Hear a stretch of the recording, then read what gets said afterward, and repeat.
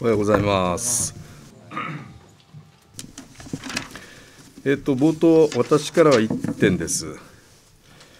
この度文科省では、登下校時の見守り活動を行っている方や、これから見守り活動を始めようと思っている方、さらに自治体や学校の方にも参考にしていただける小雑誌、やってみよう登下校見守り活動ハンドブック、こういったものを作成をいたしましたので、ご報告をいたします。登下校中の児童・生徒の安全確保には、地域と連携した見守り活動を実施することが重要です。現在、新学期が始まり、春の全国交通安全運動が実施されているところですが、本ハンドブックに記載されている内容を参考にしていただくことで、地域全体で子どもたちの安全を守る体制の構築につな続けつなげていただきたいと考えております。ハンドブックは文部科学省ウェブサイトに掲載しておりますので、ぜひご覧をいただきたいと思います。詳細につきましては、後ほど担当担当課の方にお尋ねいただければと思います。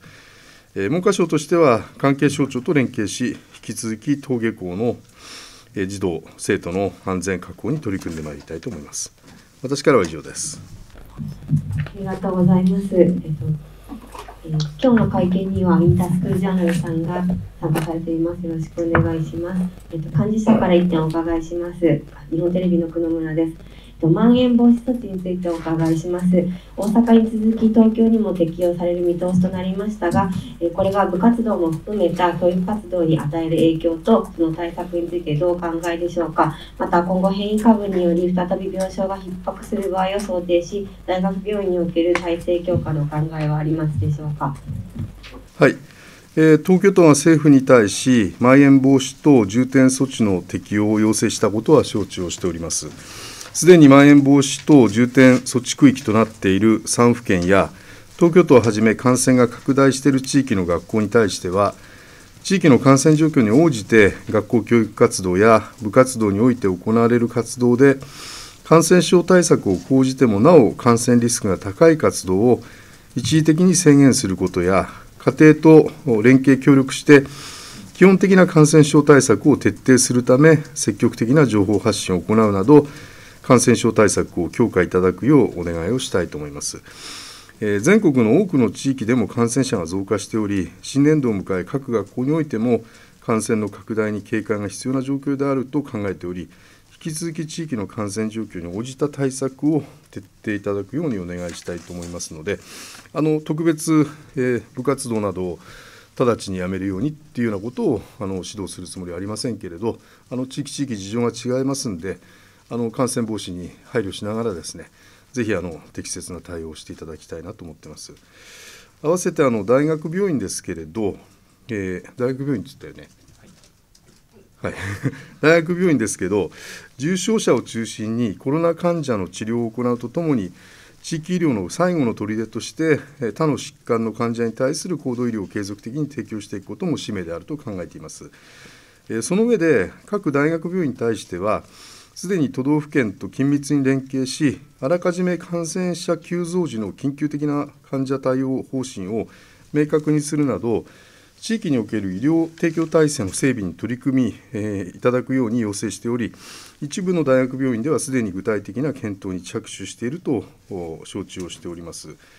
えー、特に感染が拡大している地域の大学病院が、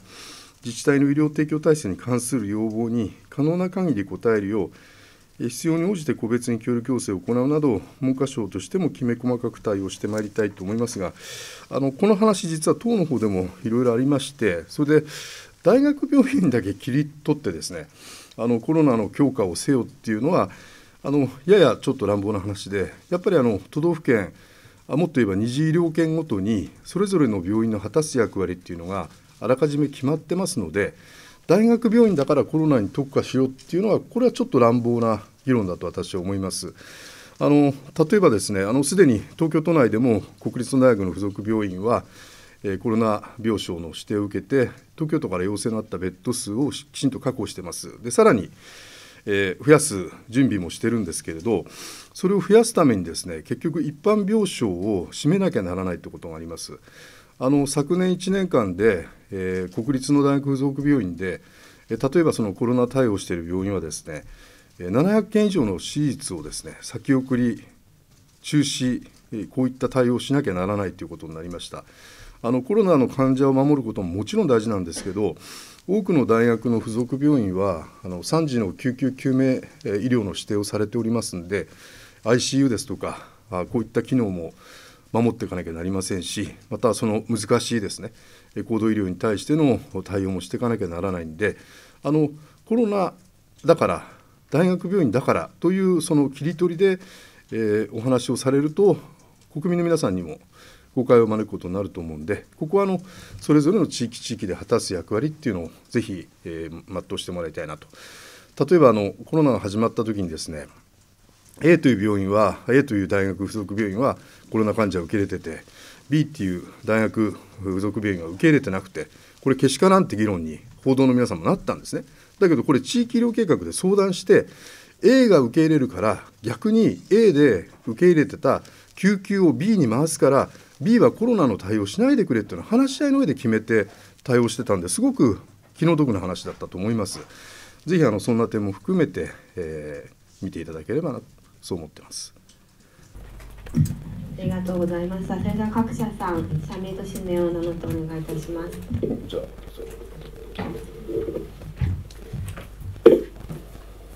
日刊工業新聞の飯田です。おはようございます。科学技術関係で1点をお伺いしたいのですけれども、あのロボット大賞の文部科学大臣賞や日本産業技術大賞のあの審査員特別賞などにはやぶさ2があの選ばれています。で改めましてあのはやぶさ2の偉業についてあの大臣としてどのように思われているかあの教えていただければと思います。はいはやぶさ2プロジェクトが第9回部ロボット大賞文部科学大臣賞や日本産業技術大賞審査員特別賞を受賞されたことは、はやぶさ2チームの数々の業績が高く評価されたものと受け止めております。はやぶさ2は初号機の経験を踏まえ、探査機の技術を向上させた結果、トラブルなく順調に運用され、小型ロボットによる小天体表面の移動探査や人工クレーターの作成及びその過程と作成前後の状態の詳細観測など数々の世界初の偉業を成し遂げてきました。これは JAXA のスタッフをはじめ関係企業などの総力を結集した結果であり文部科学省としてもはやぶさ2等で培われた世界最高水準の技術力の継承を発展させ宇宙科学探査を推進してまいりたいと思っているところです。どうぞ。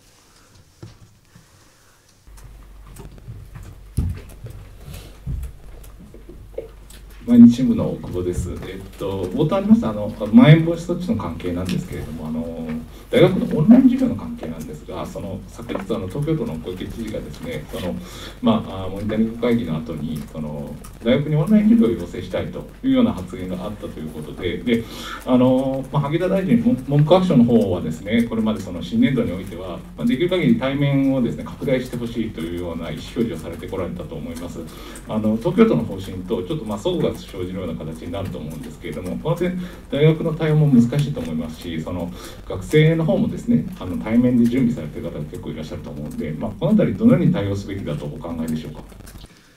えーと、昨日都知事の会見で大学にオンライン授業の拡大を要請するとの発言があった旨は報道を通じて承知してますが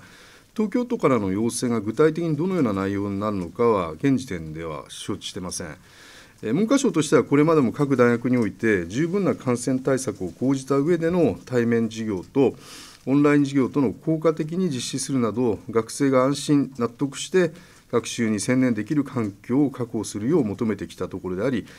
引き続き学生の学習機会の確保と感染対策の徹底の両立を図っていただきたいと考えています。また、感染防止については、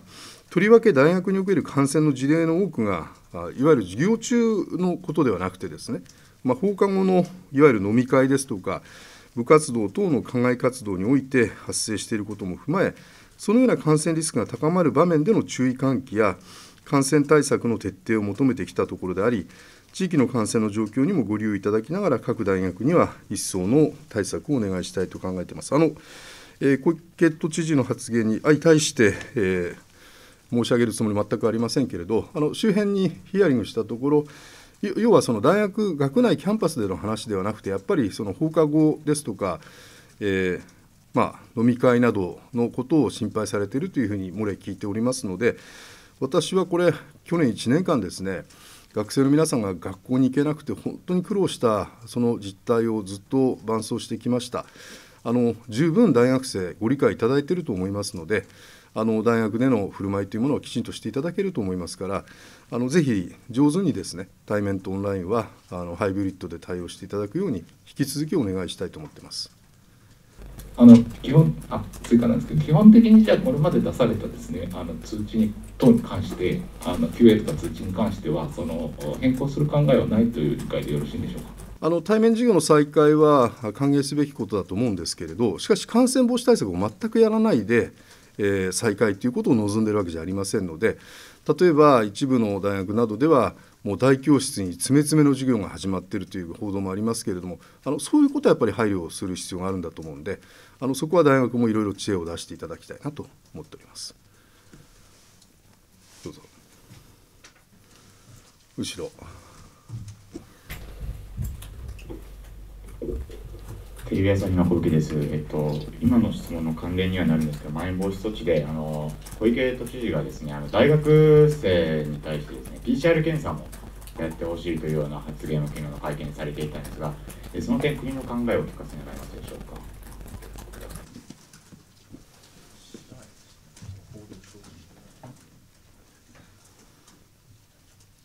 あのまず報道を承知してないのと、その PCR をやる、やらないっていうのは、あのそれぞれの学校の判断があってもよろしいと思いますけれど、あの国全体でですね大学生のみ PCR 検査を義務付けるということを現段階では考えてません。どうぞ。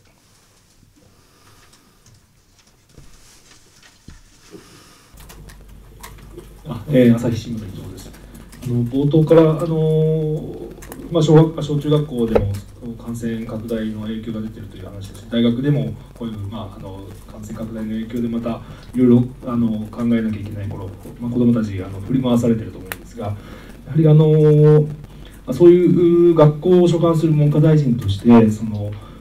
このまた、まあ、第4波と言われるこの波がまた出てきそうなことを、まあ、結果的にはそうなんですけどやはりその緊急事態宣言を解除したりとかまだその完全に収まってない状態で、まあ、ゼロコロナとか言われますけどそういうものを目指すべきなんじゃないかという意見もあると思うんですがあのこういうことを繰り返しているこの現状について、まあ、政府、まあ、あの首相の判断もあると思うんですけど大臣としてはどういうふうにお考えなんでしょうか？はいあのまあ、政府を挙げてですねこの新型コロナ対策にさまざまな取り組みをしていることは国民の皆さんもご理解いただけると思います。ただ専門家会議の皆さんのさまざまな知見も聞きながらやっぱりあの単なる政治判断だけで物事を決めるわけにもいかないと思うんですね。ですからあの、まあ、初めてのことなんで、えーまあ、一歩進んでまた下がってみたいなことに感じてらっしゃる方もいてこれだったら思い切って、えー、ロックダウンをしてですねそしてえー、その方がいいんじゃないかとこういう意見も世の中にはあることは承知してるんですけどじゃあ他方ロックダウンをやった海外でどうなってるかっつったらロックダウンを何回も繰り返しているという状況が先進国でもあるわけですから。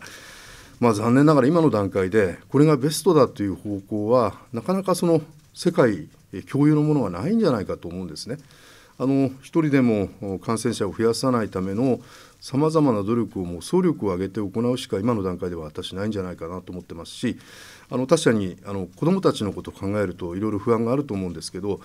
えー、逆に1年前には全国一斉休校っていうのをやりました。でその後のリスク学習学びの保障のリスクを考えると私は学校は基本的には開いてそして学びを続けてですね。で仮に感染者が出てしまった場合には濃厚接触者を特定してその人たちが休む。あるいは学級を閉鎖する。あるいは時には学年を閉鎖する。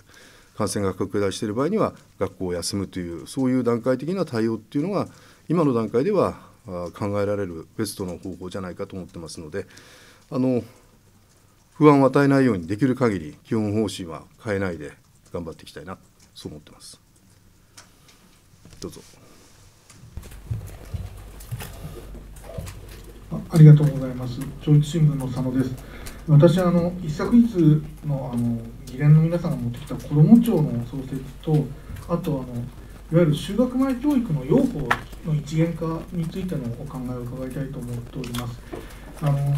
議連のあの提提言を拝見すると、まあ、子ども庁の守備範囲って非常に広くて、役割は必ずしも明確じゃないのかもしれないんですけれども、一方で長年の議論として、幼児教育が文科省とあ文科省でありまして、あの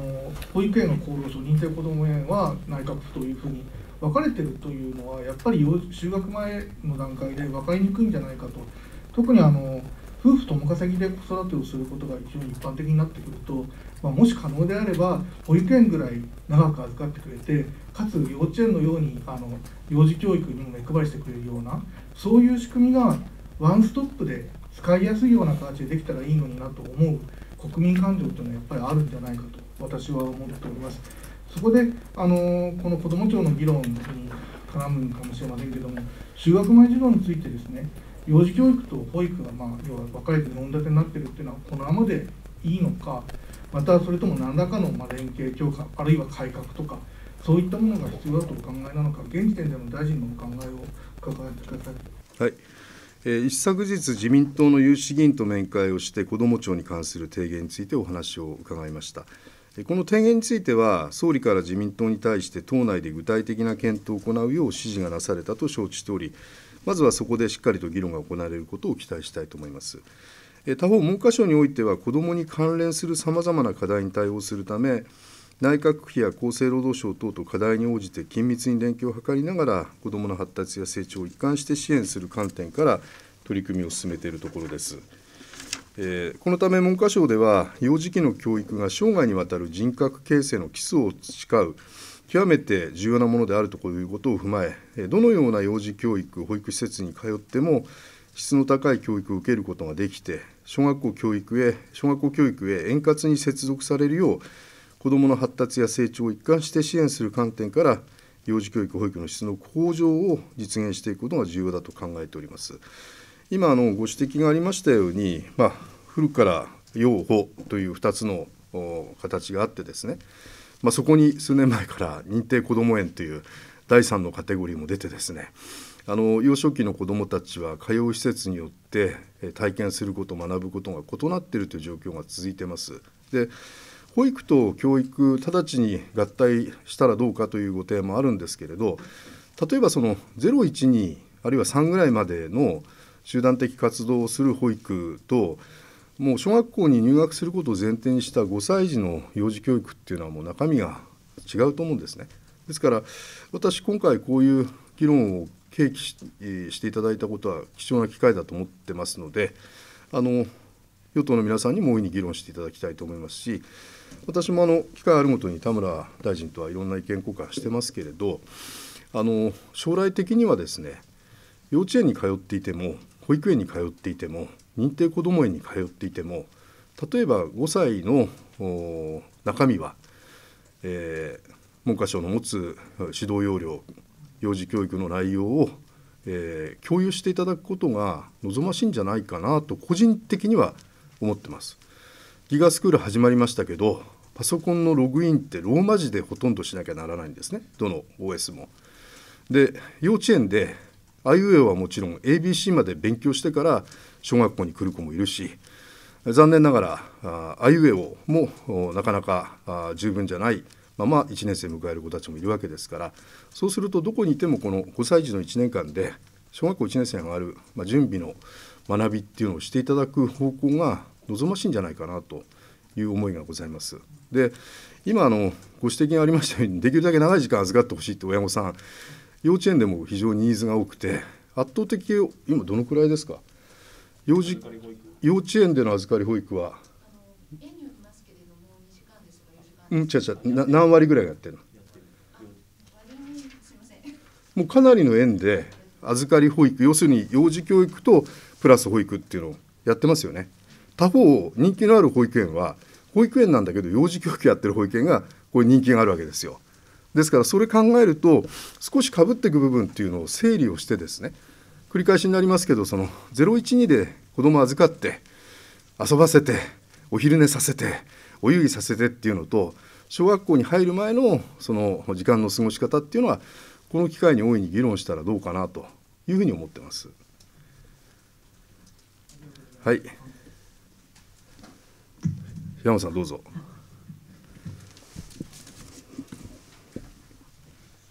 すいません、インタースクールジャーナル平松です。えっと、都立の北園高校であの髪を染めることへの規制が強化されていることについてこ高校生の有志が YouTube 上にドキュメンタリー動画を公開したんですね。